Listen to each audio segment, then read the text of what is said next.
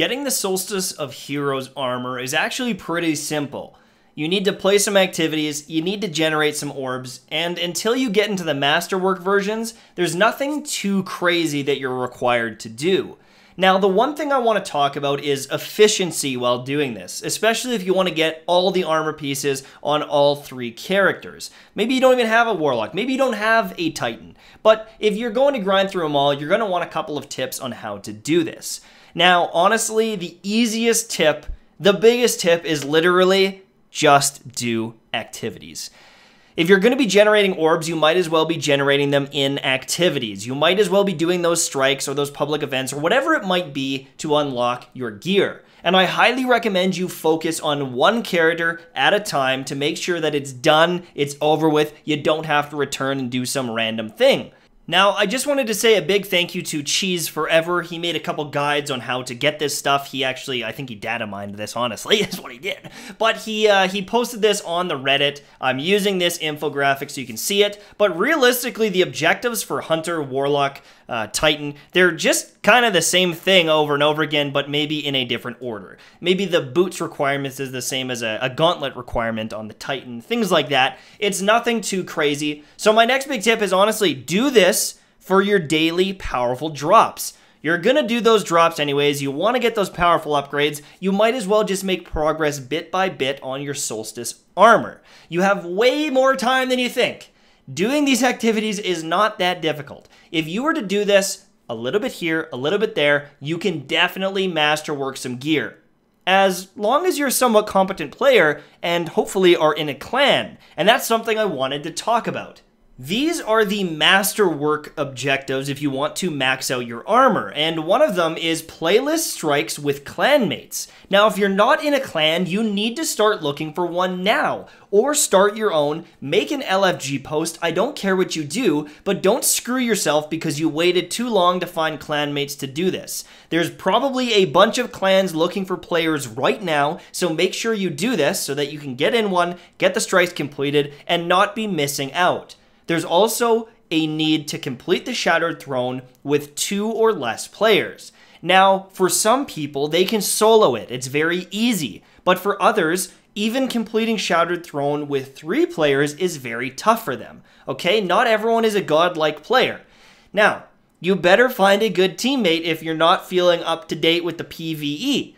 Doing it with two players might be very tough for you and it might take you an extended period of time. So you want to make sure you're getting to this point as soon as humanly possible. Now, there's also one other thing. You need to reset your rank in the Crucible. If you never touch the Crucible, this is going to take you multiple hours.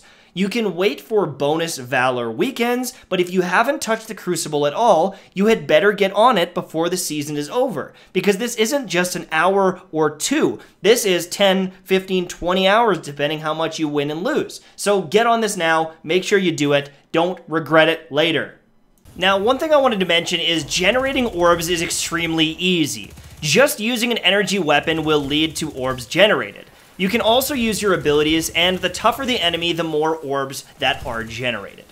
Now, if you're killing the yellow health bar enemies, like, say, a yellow knight or a yellow cabal enemy, you'll actually generate not only one orb or two orbs of the energy type that you're using, but also one for the subclass. So if you want to get Void Orbs as fast as humanly possible, use Void Weapons and the Void subclass. If you want Arc ones, same thing goes. But you can mix and match. When killing yellow or orange health bar enemies, it appears you get one for your subclass, and you get one for the energy type that you killed them with. So you can actually get uh, Void and Solar, or Void and Arc, if you choose to use different type weapons and different subclasses.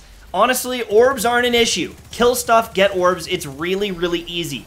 The key is doing activities. Don't waste time doing stuff like this when you could be generating orbs in actual activities you need to do. Now, if you're not a big PvP guy, you might be really happy to know that based on what subclass you're using, you're always going to get two orbs. That means you can run a kinetic weapon, you can run uh, your favorite kinetic sniper or shotgun or whatever it is, and you can generate two orbs each time. However, it appears you also get an elemental bonus, and if you kill someone with an elemental weapon, you will then generate one of that weapon type and one of your subclass. As you can see there, I got three void ones because I used a void subclass and a void weapon. Also, don't get sniped all day like I am! Jesus! I had a pretty damn good game, but I got 56 orbs in one game, so don't stress out too much. You can also do it in Gambit if you want. Now, you're also going to need keys to unlock Solstice packages, which can have some terrible blue rewards, but things like mods and masterwork cores as well. You can buy these magnets that will allow you to get more keys, and I highly recommend you do it. And then, if you want to bang out as many keys as humanly possible, go to a planet, get your fire team to do some heroic public events, and you run around doing the patrols. Now, you need to make sure that you tag the public event so that you get a reward as well, but the person that's doing all of these patrols is generating keys for everyone, and the people finishing up the public event are generating keys for everyone. So, if you get both people or all three of you doing this, you can then double up on the rewards, and it is extremely fast, especially if you're using one of the magnets. I got three. That's right, three keys from one little tiny easy patrol that took like five seconds. When you stack this with public events, heroic public events that give you five of them, you can get like, I don't know, 15 keys if you're lucky in like three minutes, two minutes. Depends on the public event, obviously. The Cabal drill is one of the fastest ones because you can just nuke the uh, the Thresher and then you can nuke the boss.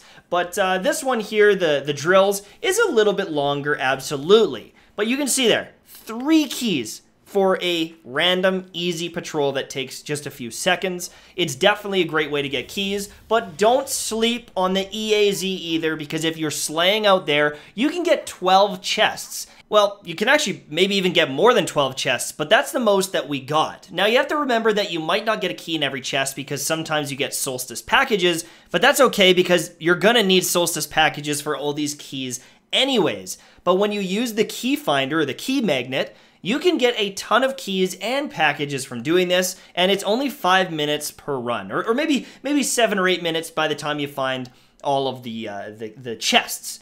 Now, one tip I have for you is use an EDZ cache finder. You can find it on multiple different ghosts. One of the easy ones is the Season 1 uh, kind of EDZ ghost shell. This will allow you to find the chests even easier. It will put a little symbol above its head, and you can smash through this as fast as humanly possible and not spend the full, you know, three minutes searching for chests like an idiot like I am. Now, I mentioned it before, but I do recommend you focus on one character at a time to make sure that it's completed and over with. The other reason why I say this is I don't know how much time you have. Someone like me that it's my job to game and do this, I can get three characters done pretty easily. And while it doesn't give me a massive advantage, it's not like it's going to be life-changing, if you get this all masterworked and completed, it does give you access to a 2.0 armor set as Shadowkeep launches. Now, we don't have all the details on that just yet, but it might be difficult to get a 2.0 armor set right at the start of Shadowkeep if you don't do this. So if you're very invested in this game, if you like playing this game, I do recommend doing it just in case.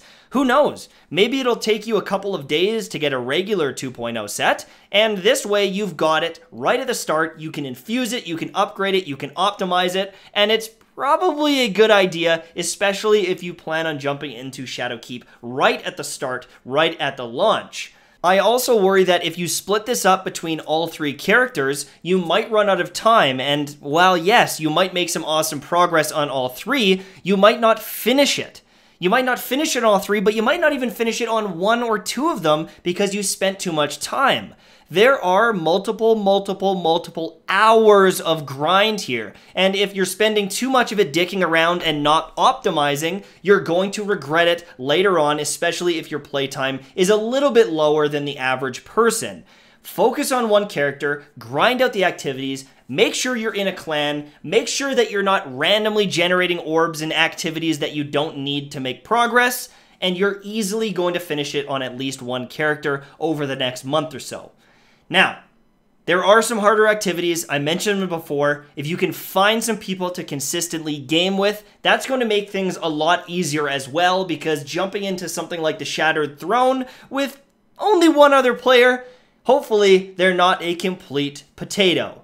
Again, make sure you're getting into a clan as soon as humanly possible because you don't want to be missing out on that. That's it for me, guys. Thank you so much for watching. Thank you so much to ViewSonic for sponsoring the channel. And if you guys are looking for an amazing monitor to game on and optimize those FPS, make sure to check out ViewSonic. Links are in the description to two of the monitors that I like. That's it for me. I'll see you guys soon. Bye-bye.